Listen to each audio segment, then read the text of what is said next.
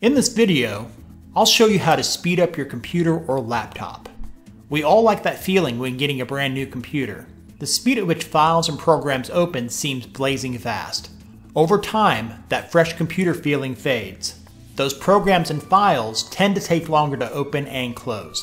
There are many reasons as to why your computer is slowing down. Today I'll show you several methods on how to speed up your PC, and that's coming up next on Tech Gumbo.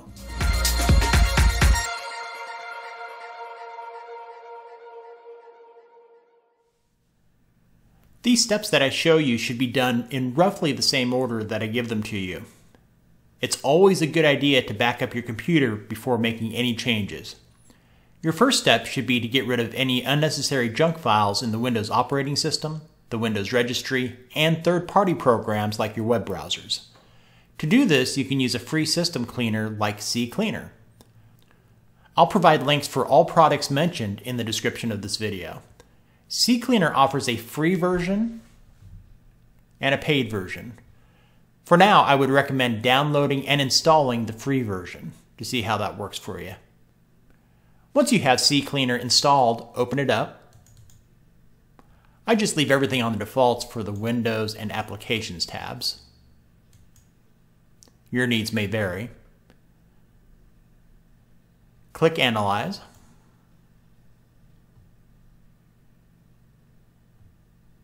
And then wait for it to analyze your system. Analysis complete. And once that's done, click on Run Cleaner and wait for it to finish. The second step is to remove unwanted programs that are not just taking up hard drive space, but maybe automatically opening with Windows running in the background using your processor and memory. To remove unwanted programs, right click on the Start menu, select Control Panel,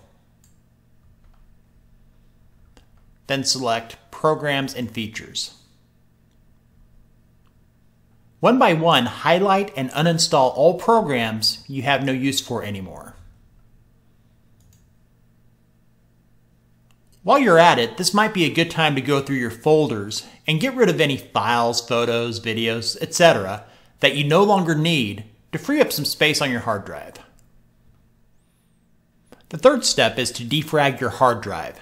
Defragging will consolidate all the empty spaces on your hard drive that are created as you add and remove files. These empty spaces cause your hard drive to take longer to think, which in turn makes folders, files, and programs open more slowly. There are several free defrag tools available. My personal favorite is made by the same company that makes CCleaner.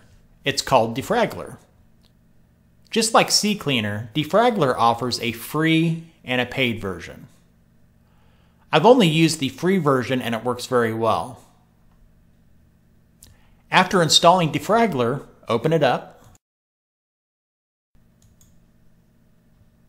Select the drive that you want to defrag, and then click on Analyze.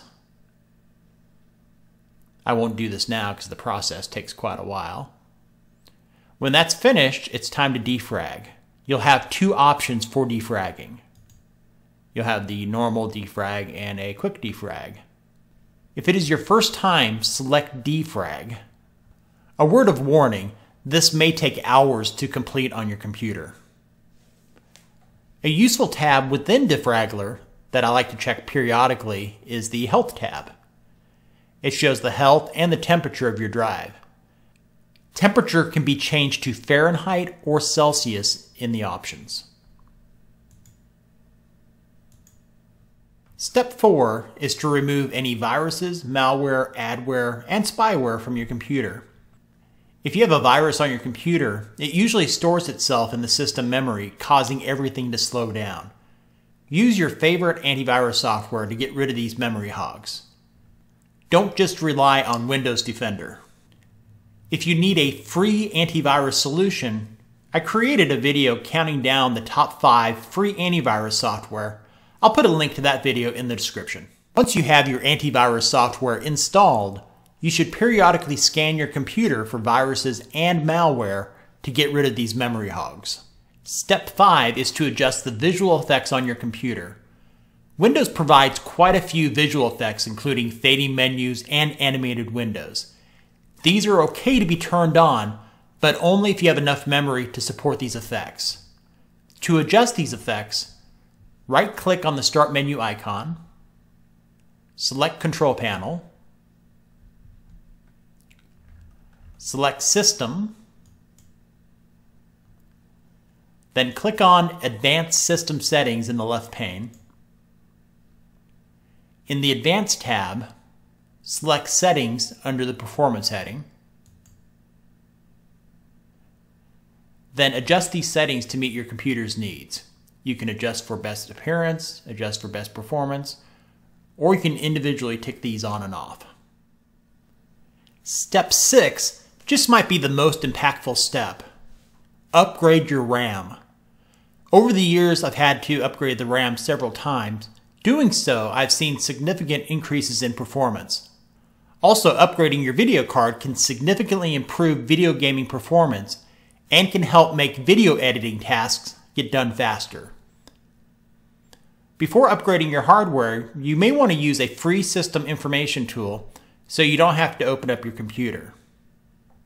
My go-to is Speccy. It's another fine software product from Piriform. I promise you, I'm not being paid or sponsored by Piriform for this video. They just make really good free software that I like. And they offer a free version and a paid version. I just go with the free version, just like the other software I mentioned earlier. When you open Speccy, it will do an automatic scan of your system. Once this is done, you can see multiple specs for your computer. I usually go with the double up rule for RAM when deciding to upgrade.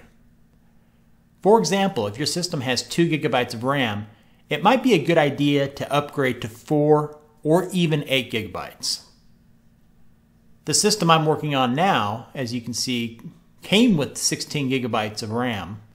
If I were to upgrade, I would probably go with 32.